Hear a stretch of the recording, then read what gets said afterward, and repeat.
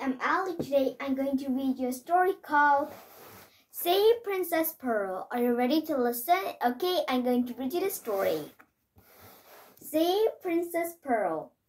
Pearl was a princess in a coloring book that belonged to a little girl called Emily. Emily told Pearl, I'm going to color you one last. I want you to be very beautiful when you go to the ball. Just then, Emily's mother came in. Come on, it's time to go, she said. Coming, Mummy, answered Emily. She got up and forward, forward her mom. She left all her things scattered across the table. She didn't even stop to put the tops back on her belt tip pants. Princess Pearl called out, Then go. You haven't colored in my dress. I can't go to the ball like this, but Emily didn't hear her. She walked out and shut the door. Slam! A moment later, the house was empty. Princess Pearl said to herself, Emily has gone, so I'll have to color myself with my own. She hopped out of the book. Pearl tried to pick up Emily's gold felt tip pan, but it was very heavy. It slipped out her hands and made splotches on her dress and arms.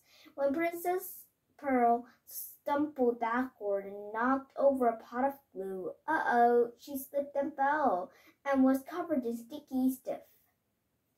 And suddenly a wind blew. The wind gustled through the room. Whoosh! It was like a hurricane. Princess Pearl didn't get blown away because her feet were, stuck to table but the pages of the coloring book fluttered and flapped and waved. At last, the wind stopped blowing, the pages stopped moving. Princess Pearl couldn't see the page she had stepped on. There was no ballroom and no orchestra, but she could hear something. She leaned over the coloring books and saw a knight. The knight sat on his horse, playing a guitar and singing softly, My name is Flynn. I've been badly colored in. Emily scribbled on me when she was only tiny. I'm looking for a princess who will always stand by me.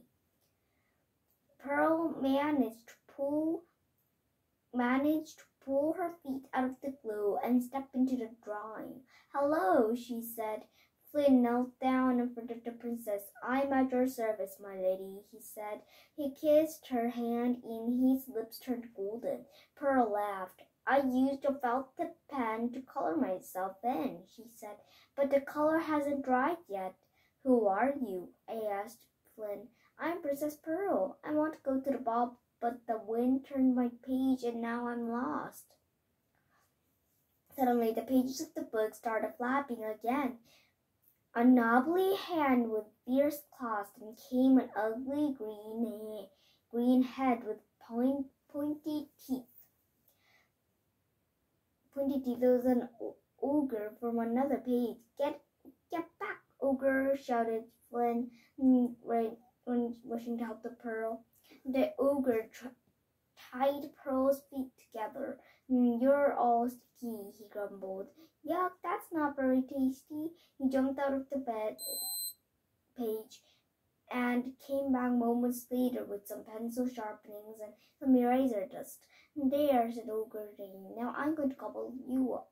Hey, you, shouted Flynn. Nobody's going to gobble her up. The ogre put his huge face close to Pearl's.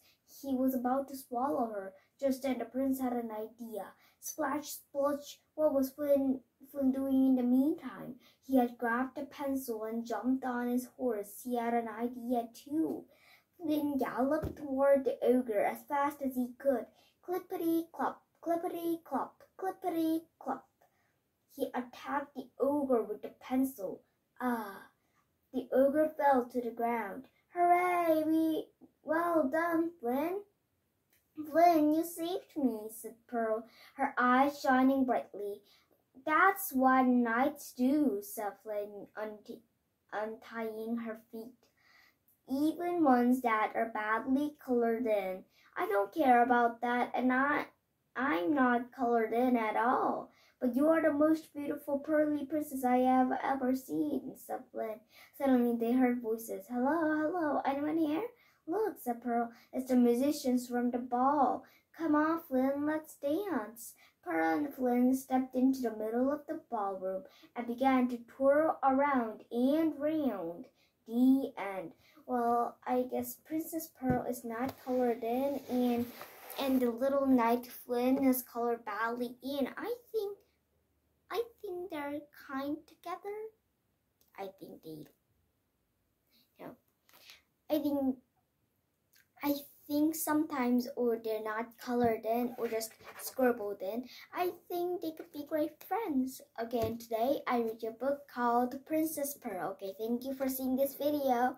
Bye.